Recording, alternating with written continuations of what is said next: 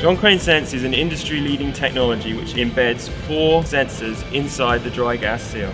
It measures the sensor readings from these sensors are then transmitted to our Sense hardware, which processes and samples the data, and then sends it up to the cloud via our Sense gateway. So first of all, we have the temperature sensors, which I'll just hold in my hand. And as you can see, the purple signal is rising there. And now I'll do the inboard temperature sensor.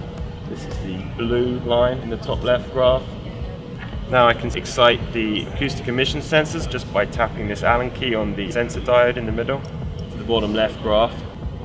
Now I'll demonstrate the liquid presence sensor just by dropping a couple of drops of oil onto the sensor there. Again, you can see the value in the top right graph. Finally, this is our new sensor that's in development. It's a Hall effect speed sensor. I'll just um, spin it here. This is the bottom right graph. This sensor will provide high resolution speed data. So together these five sensors provide John Crane with industry leading insight into the performance and the health of the seal.